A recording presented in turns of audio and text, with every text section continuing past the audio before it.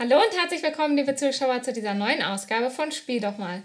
Und heute geht es um Riverboat. Bei Riverboat verschiffen wir unsere angebauten Feldfrüchte mit Flussbooten. Riverboat ist ein Spiel vom Autor Michael Kiesling mit Illustrationen von Clemens Franz. Es ist für zwei bis vier Spieler ab zehn Jahren, dauert ca. 90 Minuten und ist bei Lookout Spiele erschienen.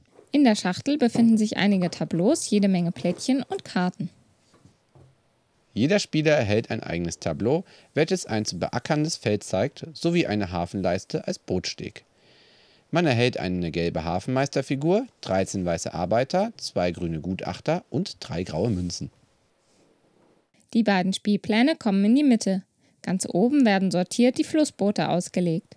Darunter kommen weiße Arbeiter als Rundenanzeiger und eine Auslage von vier günstigen Gelegenheiten. Auf dem anderen Plan findet sich die Punkteleiste und die Auslage der Ackerfruchtplättchen. Ganz unten werden die fünf Phasenkarten ausgelegt.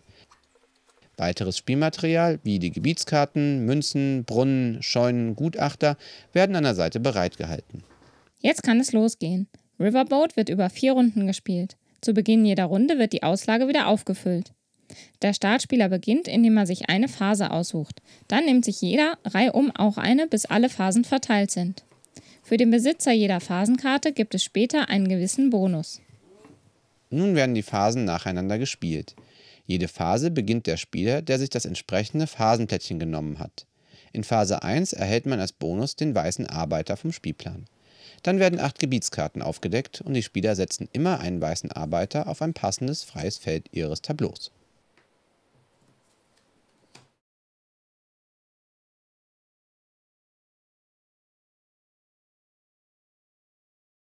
In Phase 2 gibt es als Bonus eine Münze und die Spieler suchen sich abwechselnd Ackerfruchtplättchen aus der Auslage aus, die unter Feldern mit weißen Arbeitern bei ihnen passen.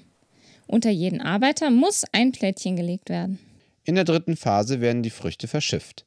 Hat man zum Beispiel drei Mais mit Arbeitern drauf, so darf man diese drei Arbeiter zurück in den eigenen Vorrat legen und ein Schiff mit dem Wert 3 an den eigenen Steg anlegen. Für die Schiffe gibt es sofort Boni, wie zum Beispiel Schritte für den Hafenmeister, Punkte oder auch Scheunen oder Brunnen, die auf das eigene Tableau gelegt werden. In Phase 4 sucht man sich eine günstige Gelegenheit aus. Dies sind quasi eigene Punktewertungen. In der letzten Phase wird gewertet. Man kann zwei bzw. drei eigene Gutachter einsetzen. Dabei kann man entweder eine eigene günstige Gelegenheit, Scheunen oder Brunnen werten. Brunnen punkten für große Gebiete gleicher Frucht, während Scheunen für angrenzende Früchte der gleichen Sorte punkten. Bei Gelegenheiten gibt es Verschiedenes. Verschiedene Boni erlauben einem auch das Schicken von Arbeitern nach New Orleans. Diese erhält man nicht zurück, sie punkten aber während des Spiels stetig und schließlich bei einer großen Schlusswertung.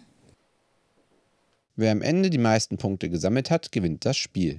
Ja, Riverboat ist ein Spiel ganz nach meinem Geschmack. Ich finde es echt super, wie das Ganze äh, austariert ist, wie man sich gegenseitig so ein bisschen die Phasen wegnimmt, äh, die Teile wegnimmt. Also es ist viel Interaktion da und trotzdem ist es ein sehr strategisches Spiel. Man guckt, äh, wo, worauf man baut mit den Punkten, ob man hier seinen Hafenmeister weit vorlaufen lässt, damit man da die volle Punktzahl abgreifen kann oder ob man viele nach New Orleans schickt, weil es hier eine sehr starke Entwertung gibt. Ähm, oder ob man versucht, hier irgendwie möglichst viele Teile, äh, Bereiche voll zu bekommen. Oder, oder, oder. Also hier gibt es sehr viele Dinge, auf die man sich konzentrieren kann. Man kann sich auch auf die Wertungen konzentrieren. Und das gefällt mir richtig gut. Und es spielt alles ähm, so ineinander ein. Oder also es, es ist wie so, so verzahnt ineinander. Und das ist richtig cool. Ich mag auch, dass man am Anfang sich Phasen aussucht und in den Phasen kriegt man einen kleinen Vorteil und wird Startspieler in den Phasen sodass es nicht für eine ganze Runde immer einen Startspieler gibt, sondern eben in den Phasen. Das wechselt dann auch und auch das ist schon eine ganz wertvolle Entscheidung. In welcher Phase möchte ich anfangen? Möchte ich der Erste sein, der sich für ein Boot entscheidet? Weil es gibt immer nur ein Boot pro Sorte zur Verfügung, jede Runde. Und wenn ich ein weiteres dieser Sorte will, dann muss ich Geld dafür bezahlen. Oder möchte ich mir als erstes Feldfrüchte aussuchen, damit ich hier aus der vollen Auswahl schöpfen kann und mir das nehmen kann, was ich ganz dringend gebrauchen kann? Oder möchte ich mich, mir hier eine, so eine Wertungskarte ähm, zuerst aussuchen, damit ich mir hier den Bonus, den ich ganz dringend brauche, abgreifen kann. Also das ähm, sind so Entscheidungen, die man ganz am Anfang trifft und die, die dann auch für diese Runde entscheidend sind. Und das gefällt mir sehr, sehr gut. Und dadurch entsteht eben auch diese Interaktion. Ich gucke, okay, was würdest du vielleicht machen? Kann ich dir noch was wegnehmen? Oder äh, wer kann alles auch außer mir so sich so ein Sechser-Boot holen? Oder bin ich eh die Einzige? Dann hole ich mir erst ein anderes Boot, weil das Sechser kriege ich auf jeden Fall. Und so, also das ist wirklich cool und spannend und das Spiel macht mir unglaublich viel Spaß. Und ähm, es gibt eine Sache, eine einzige, die ich nicht gut finde. Und zwar ist es äh, ganz am Ende, gibt es ja an zwei Stellen so, so eine Art Mehrheitenwertung. Also hier ist es eine echte Mehrheitenwertung. Wer die meisten Leute in New Orleans hat, kriegt 20 Punkte, wer die zweitmeisten hat, 10. Und dann gibt es noch die Wertung, ähm, wessen Hafenmeister am weitesten vorne ist.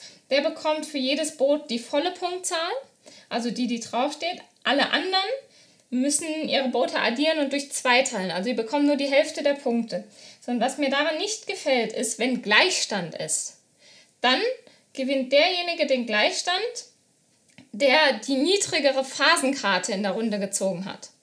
So, wenn man das weiß und schon merkt, okay, bei mir geht es vielleicht in Richtung Gleichstand, dann hat der Spieler einen Vorteil, der in der letzten Runde diesen Startspielermarker hat und sich als erstes eine Phase aussuchen kann. Der wird sich nämlich die Phase 1 aussuchen, dann weiß er, okay, die Gleichstände kann mir keiner mehr wegnehmen.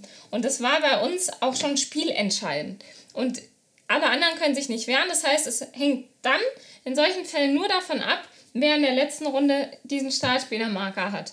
Und das finde ich irgendwie, das ist so unbefriedigend. Also gerade hier in New Orleans hätte man es ja machen können, dass der erste und der zweite, wenn die gleich sind, sich die Punkte addieren und durch zwei teilen. Also dann kriegt nicht einer 10 und einer 20, sondern beide 15. Das hätte ich zum Beispiel gut gefunden.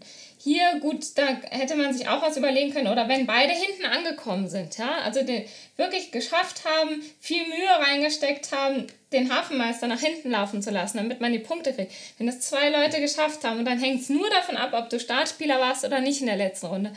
Und das kam bei uns halt vor und das, das ist super deprimierend. Wenn du dann nur die Hälfte der Punkte kriegst, einfach nur, weil du nicht Startspieler warst in der letzten Runde.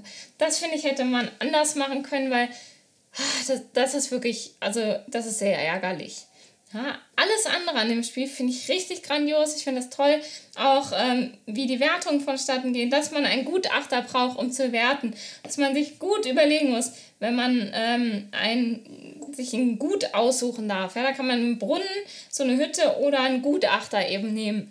Und dann diese Überlegung, die dann kommt, nehme ich mir jetzt einen Gutachter, damit ich ein zusätzliches etwas werten kann oder nehme ich mir hier so einen Brunnen oder eine Hütte, die etwas sind, was gewertet werden können. Allerdings brauche ich für die ja den Gutachter. Ähm, und dann muss man halt gut gucken, was wird man perspektivisch noch eher bekommen und so weiter. Also gefällt mir richtig, richtig gut. Außer eben diese Gleichstandswertung, die ich ein bisschen unschön gelöst finde. Aber ansonsten grandios, macht mir sehr viel Spaß. Ähm, man könnte jetzt vielleicht annehmen, dass, dass es hier, dass es so eins der Spiele ist, wo es einen großen Lerneffekt gibt.